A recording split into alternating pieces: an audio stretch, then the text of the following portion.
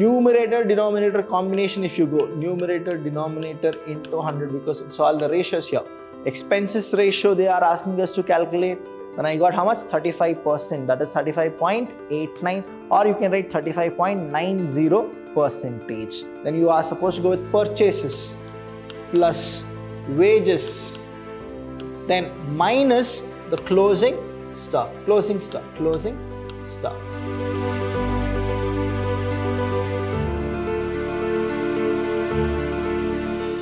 Hello everybody, a warm welcome to one and all. I'm Abhilash Chandra from the Department of Commerce and Management in Vidhyaashram First Grade College, the Temple of Excellence. Welcome to all the students for this very session. Now in this session, I'm going to teach you some different formulas of ratio analysis. Now here in ratio analysis, we have already come to a conclusion saying that if I know the formulas, it is very easy for me to calculate all the problems of ratio analysis. Now let's go with the first one that is here profitability and management efficiency. So here we have something called the gross profit ratio is equal to now when we go with the formulas, now I have given you the basis here what exactly the formulas are all about. Now we go with profitability and management efficiency to know the management efficiency, we are supposed to use few of the techniques. Now, the last session I told you about the gross profit, net profit, operating profit, expenses, and all other things, right? So, what exactly they are? The first one is the gross profit ratio, where how to remember it?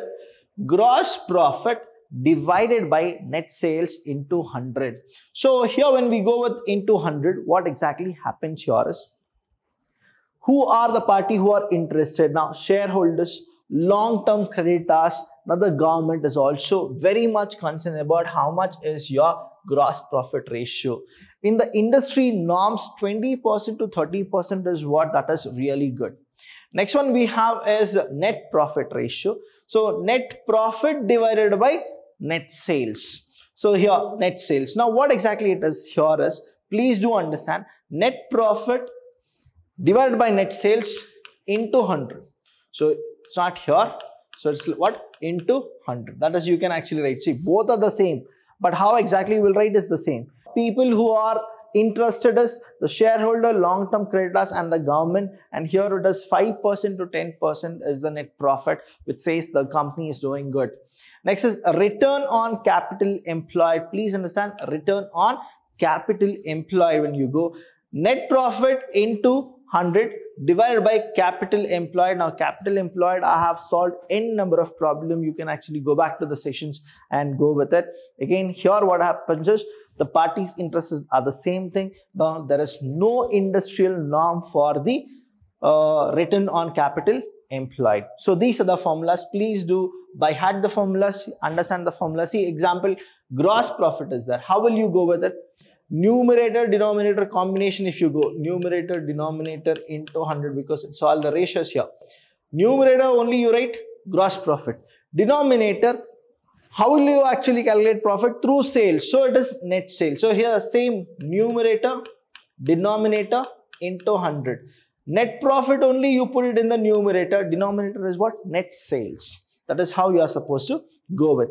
Now when you understand these things, you are supposed to go with the next one that is return on proprietor fund. See, proprietor fund, we have actually uh, gone with the calculation. Now it is what? That is the proprietor fund you are supposed to return. So what exactly? Proprietor after tax divided by proprietor's fund. Return on capital. Now capital we know profit after tax less preference dividend if you have in your problem divided by equity share capital. Now these are the parties who are interested. The next two we have is earning per share which is called eps five marks question you will actually get here. How many question that is like five marks. You will get a question for calculation of eps profit after tax less preference dividend. Any kind of a long term preference dividend you have you are supposed to subtract that divided by total number of equity shares. How many shares is that? That much you are supposed to divide it. Say 10,000 is that? So 10,000 you will actually divide. Dividend per share, DPS, dividend per share is total dividend paid to the ordinary shareholders divided by number of ordinary shares. So how much the number is, you are supposed to go with those number. Then you will get what? Dividend per share. For one share, how much? That is what you will get it. So let's go with the next problem. That is the seventh problem. Again, here we have a kind of a profit and loss account trading account here. Now, the following trading and profit and loss account of Fantasy Limited for the year 31-3-2020 is given below. Now, they have given something, right? So, I told you how exactly we are supposed to do. We are not supposed to think anything about the problem. We are supposed to uh, go with the flow. What exactly the flow is what exactly they want us to write. What is that question is. So for that question, what is that we should do? Gross profit ratio, they are asking us calculate. Expenses ratio, they are asking us to calculate. Operating ratio, net profit ratio, and the last one is operating net profit ratio. Or if they uh, will give you only this much, that is operating profit ratio also. Through operating ratio only, I'll tell you how to actually calculate the operating profit ratio. Now, what is that we should do?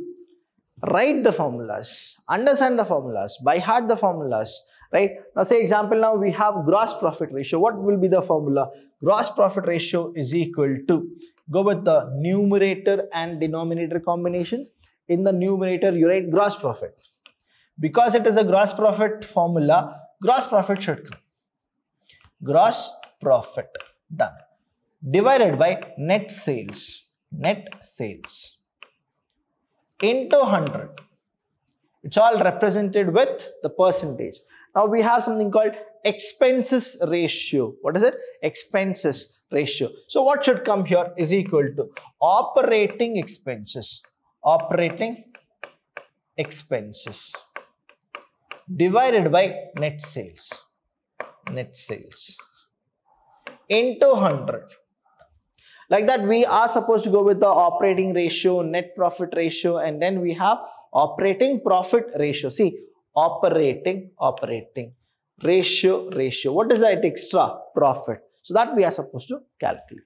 So let's go with the first one that is our gross profit ratio. Again, write the formula gross profit ratio is equal to. Now you should tell me what is that gross profit ratio formula? Did you remember that? No. Here only we have gross profit means here also what is it? Gross profit gross profit divided by what net net sales into 100 so in the question we are supposed to identify what is the gross profit. Say here gross profit. Where exactly you will get gross profit? That is here. 2 lakh 1000 is your gross profit. Sales is how much? 5 lakh 60000 is our sales. So here we'll write is equal to 2 lakh 1000 divided by 5 lakh 60,000 into 100 is equal to. Now, just check whether what you have written is right or wrong. See here, 2 lakh 1000, 5 lakh 60,000 done. 2 lakh 1000, 5 lakh 1, 2, 3, 1, 2, 3. Here 1, here 1. So, what has happened?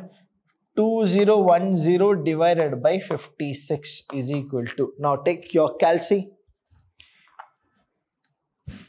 2010 divided by 56 is equal to 35.89, so I'll round it up, 38, sorry 35 is that, so I'll write 35.89, I can write it, no issues, you can just write it and then put percentage. So this is my gross profit. Hope you people are able to understand this. I went with the formula, then I substituted it, then I got how much? 35%, that is 35.89 or you can write 35.90 percentage or you can write what? Or 35.90 percentage. Both are correct. Let's go with the next one. The next one we have is expenses ratio. How much expenses ratio we are supposed to actually go with is equal to operating expenses divided by net sales into 100. So how much is the net sales here is equal to net sales we got to know 5 lakh 60,000 into 100. We need to know what the operating expenses. See here operating expenses where exactly we'll get operating expenses here. Administrative or administration expenses there that is how much 20,000 selling and distribution expenses there that is 89,000. So 89,000 plus 20,000 is how much? 1 lakh 9,000. So this is my expenses, operating expenses, 1 lakh 9,000. So I'll write here 1 lakh 9,000. Now take your calci here. Now 1, 2, 3, 1, 2, 3. Here 1, here 1. So we got 1090 divided by 5, 6 is equal to. Now 1090, do it very fast. 1090 divided by 56 is equal to 19.46%. How much? 19.46 percentage. So I got my expenses ratio. Say example here only, I'll just write. If they would have given, apart from expenses ratio, they would have given administration expenses. Administration expenses ratio is equal to. Now what is that you will do is very simple. They're not giving me the expenses ratio. They are asking me to go with only administration expenses ratio. So what will I do is I'll write here administration expenses divided by net sales into 100. So here administration how much was it? Just go back to your question here. Now in the question the administration is only 20,000. The administration is only 20,000. I'll erase everything for you people. You will have a clear cut statement that is here. Administration is how much? 20,000. So what will I do is here administration ratio. Administration ratio or administration expense ratio is equal to 20,000 divided by 50 that is 5 lakh 60,000 5 lakh 60,000 into 100 so that is what you will be writing here so here see example here we have so what is this administration expenses? In the sense administration was how much? 20,000 divided by net sales is how much? 5 lakh 60,000 into 100 is equal to. Now whatever the answers you get that becomes what? Administrative expenses ratio. So understand. See all the formulas whichever we actually get is what? Through the question only we are getting the answer. That is how you are supposed to write. Next, what is that? We have operating ratio. Operating ratio. If you have not watched the last session, please do watch the last session. I have given you how exactly you are supposed to calculate for the operating ratio as well. Now, operating ratio is equal to, go with this, cost of goods sold plus operating, operating expenses, operating expenses divided by net sales, net sales into 100. So cost of goods sold plus operating expenses divided by net sales. That is what my operating ratio is. Now I need to understand what is my cost of goods sold is. What is my cost of goods sold is. Whenever I go with my cost of goods sold, cost of goods sold, whichever is the direct expenses you are supposed to go with, the cost of goods sold. So which are they? Let me just go back to the question now. We have done all these things. Now we are in the question. Uh, let me erase all these for you so that you will have a clarity about each and everything. See, operating and the cost of goods sold is equal to what all you need to add is opening stock plus you need to add this 1 lakh plus then you are supposed to go with purchases plus wages then minus the closing stock, closing stock, closing stock. See, understand? Opening stock is how much? 1 lakh. So I'll write here uh, 1 lakh plus purchases is 3 lakh 50,000 plus wages is 9,000 minus closing is how much? Again 1 lakh here. 1 lakh. So this 1 lakh and this 1 lakh get cancelled. 3 lakh 50,000 plus 9,000 is how much? 3 lakh 59,000. So 3 lakh 59,000 is my cost of goods sold. So cost of goods sold. That is how much? It is 3 lakh 59,000. Easy to get the answer. Now let's uh, write the same thing here also. Now we have solved all these things. Now here we are. So 3 lakh 59,000 plus operating expenses how we have only calculated see operating expenses is how much 1 lakh 9000. So 1 lakh 9000 divided by net sales is how much? 5 lakh 60,000 into 100. So if you calculate this, right, how much exactly you get? 3 lakh 59. So 4 lakh uh, 68 is what it is. Let me just check. 3 lakh 59 plus 109 is equal to 4 lakh 68. So 4 lakh 68 thousand divided by 5 lakh 60,000 into 100 is equal to now 1 2 3 1 2 3 here 1 here 1 so what is that we got is 4680 divided by 56 so how much is it? 468 4680 divided by 56 is equal to 83.57 so how much we got operating is? So here we will write operating ratio is equal to 83 how much is it?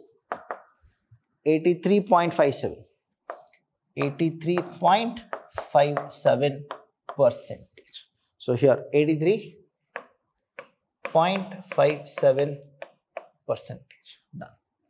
Next is what we are supposed to find as net profit ratio. Which one? Net profit ratio. Again for net profit what is the formula? Net profit. Go with numerator denominator. Net profit ratio. They're asking net profit so write net profit. Net profit divided by net sales into 100 net profit divided by net sales into 100 net profit. Go to the question now. Now we are supposed to uh, see the question here. So this operating is done expenses is done gross is done. Now these are the things which we are supposed to calculate now. Net profit. How much is the net profit here? 80000 how much? 80000 and the sales is how much? 5 lakh 60000 so go back to your answers now 80000 is what our net profit is. So i'll write here. 80000 5 lakh 60000 into 100 1 2 3 4 1 2 3 4 done. So 800 divided by 56 is equal to now go with the 800 into not 800 into it is 800 divided by 56 is equal to 14.28 percent. So 14.28 percent is my net profit ratio.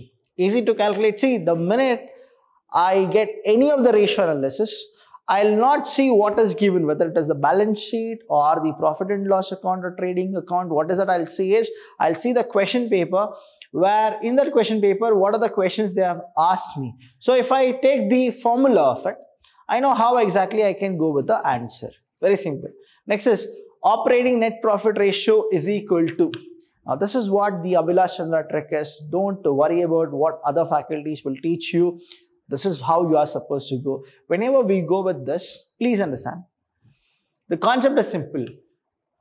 Whenever you go with the ratio, it is all for 100%, isn't it? Now, 100% minus operating ratio. That becomes your operating net profit ratio. Say example here. 100% minus. How much is the operating ratio percentage? Operating ratio percentage. Here we have operating ratio percentage. How much is it? 83.57 isn't it? We have written how much? 83.57 so i'll write here.